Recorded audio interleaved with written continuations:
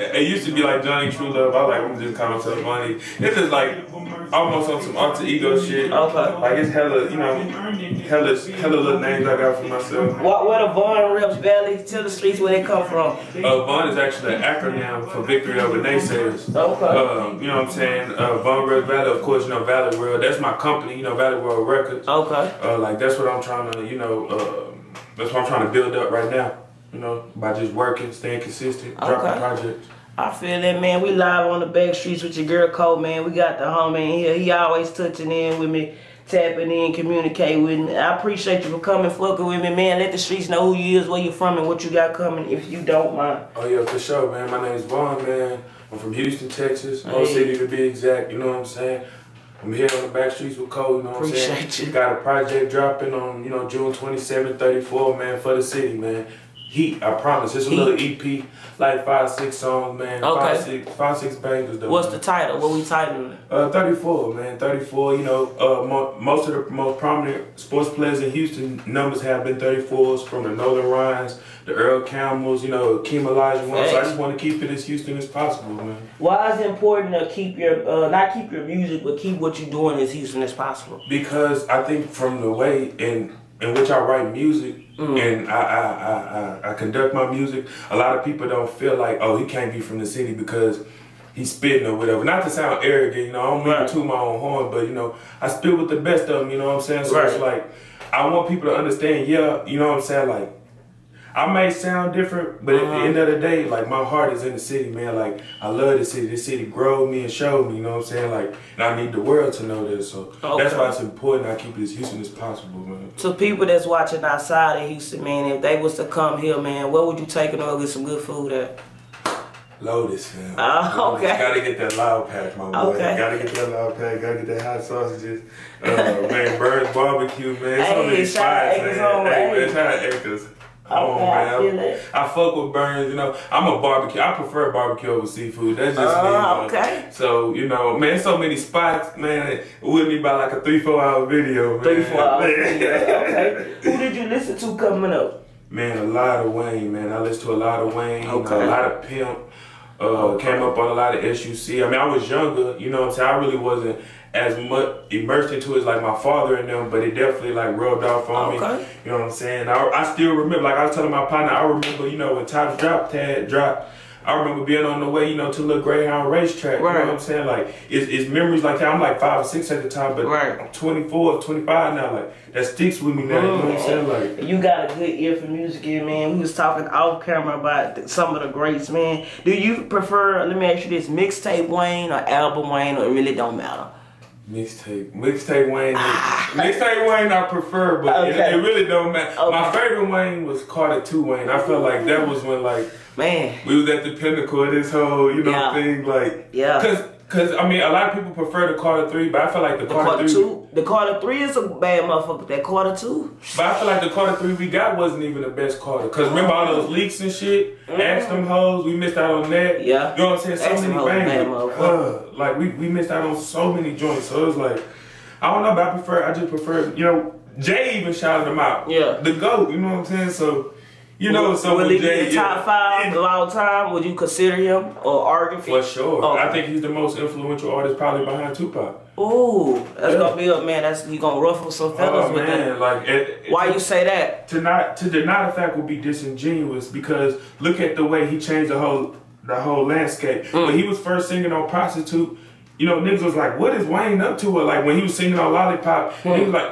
"Now you you turn on the radio." And we got auto tune and all that everywhere you go. You right about Niggas' whole careers based off auto tune, getting these face tattoos. Even though niggas been getting face tattoos, he Right. definitely did start that. Niggas Right. definitely been getting face tattoos. But he made the wanted to be a rock star. star. cool. Yeah, that's why I was going rock star because if not him, I would get it to like the Dipset dudes. Yeah. They was But even with Dipsets, they still was trying to keep it street. Wayne, Oh. like, playing guitar, Yeah. you know what I'm saying? Like, Right. let niggas, like, you know, I mean, yeah, he got the, you know, tell me something good, you know what I'm saying? I still feel like his international players anthem, hit that verse, It's so under, That's it's grossly one of the underrated, top bro. five verses man. Man, like, it's so to get on that thing, it just go. And, But like, I feel like Pimp is definitely top, top five because I'm from the South. Like, Right.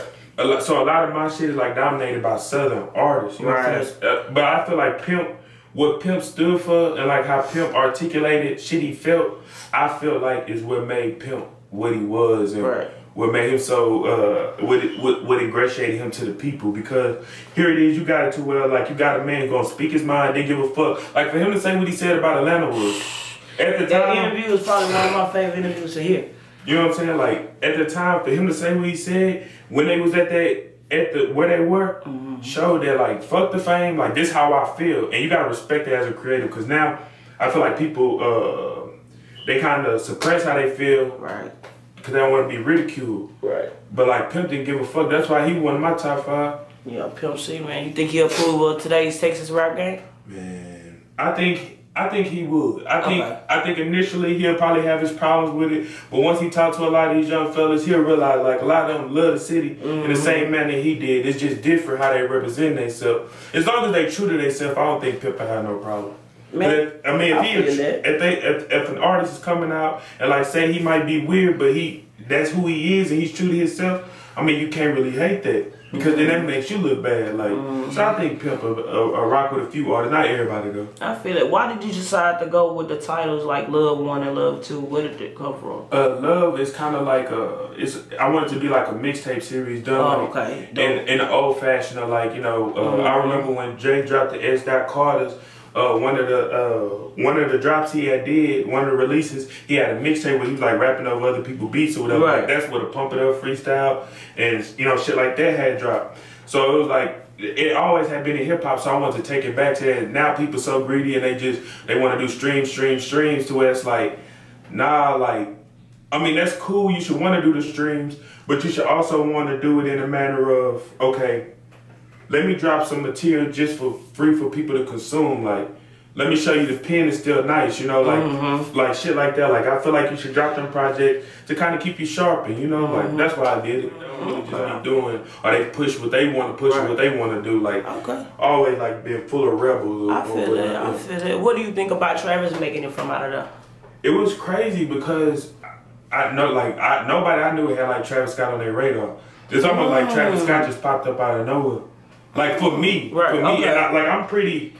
I, I, I, I, ain't, I ain't gonna say I just listen to underground music, but like that's mostly what I like listen to. I Me don't listen to right. mainstream. Uh, radio, so like for him to come out of nowhere, like at the time I was like, damn, because the first project I heard about him was Owl Pharaoh. So it was like uh, that was like I think 2012, 20, Yeah. 2013, You 2013, yeah. Okay. So it's like, you know, he had came out of nowhere.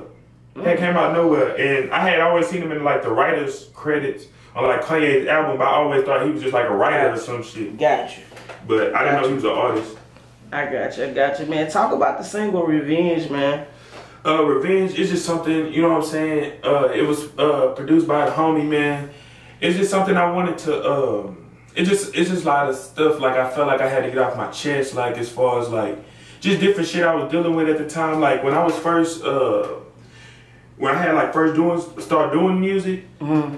I had like uh, signed a management deal. It was a, it was a terrible like management deal. What made you do that?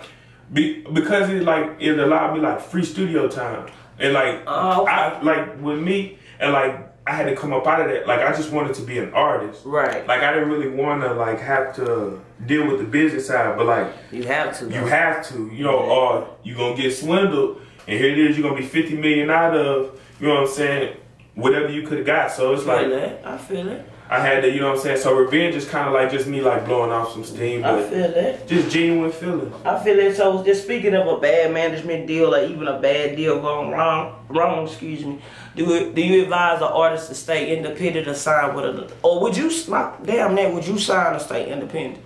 I would sign. I, I mean, it depends on the money from a label. A lot of niggas would be like, "Oh, if you get a ten million dollar advance or a five million dollar advance, that's a loan at the end of the day, bro. That's five million you didn't have before. Now it's up to you. You know what I'm saying? What you, You gotta make it work million. for you. But like everybody, businessmen in the comments though, you rarely ever see them in boardrooms. You feel what I'm saying? So Mm. you can't really let nobody no comment dictate how you run your business. You think what I'm saying? So Facts. I I don't know, man. So to me, as, as a label coming with that money, cause me, I don't need the icy chain, none of that. I'm a Right. real minimalistic type of nigga. Right. So to me, that. shit don't matter. You know what I'm saying? I just need the money, the ends, so I could grow my shit. You know what I'm saying? Okay. Uh, I So would you sign? Would you do you believe in artists signing to other artists?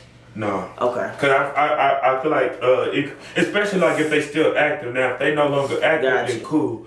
But if they active, Active. no. Cause then Gotcha. it, it it becomes a competition, and a lot of people not gonna play the back burner like a Wayne or a Ross when you surpass them. They gonna hate. It. Man, speak on it, man. Speak on that a little bit, man. Why why people won't play the background and if this artist is the hottest on the label, let him get his shine. I think insecurities. A lot of people, a lot of oh. people rap because to me, and this is the generally feel. It's not for everybody, so I don't want anybody here talking about. It. But if you, if you feel like that, then I probably am talking about it. But I feel like a lot of niggas just just rap allows them to be something they not. Almost like in the same sense. Remember we used to play Grand Theft Auto, San Andreas. Niggas can be CJ. Niggas go hit the police. Niggas go, you know, shoot people. But they ain't gonna Like, really do that. you know, but like the same thing with this rap shit. So it's like, man, here it is. I've been able to live this facade as long as I want to. You think you finna, you know what I'm saying? Like they never had power. Right. Rap is powerful for a lot of niggas. A, a But- rapper can say, "Wear your hair like this," and a, mo- a motherfucker gonna be hair like this. I'm Mm. like, no, it's not. To me, only thing I love what it's doing, love where it's going, but it's no original originality. Yeah. That's the only thing that's missing. Like I say, I'm all for the youth shit, rocking and dancing and shit. Cause like I say, with Sugar Hill Gang and all them niggas Yeah. was dancing and Yeah. shit. The '90s, like, so it's really ain't nothing new under the sun. It's just the way they going about it, man. I appreciate you for rocking with me, man. Let the streets know where they can find the music, the IG, YouTube, Twitter, Facebook, whatever you got, man. If you don't mind. Oh yeah, Instagram and Twitter is Von Reps Valley. Uh, my my YouTube is Valley World Records. Uh, you know what I'm saying? That's all I Valley have right World, now. okay. Yeah, Valley, Valley World. Records, all spelled correctly. Valley. You know what I'm saying? World Records. You know what I'm saying?